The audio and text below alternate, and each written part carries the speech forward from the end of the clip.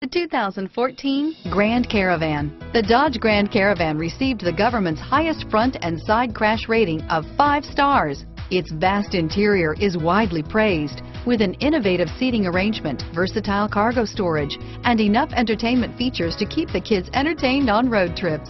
This vehicle has less than 45,000 miles. Here are some of this vehicle's great options.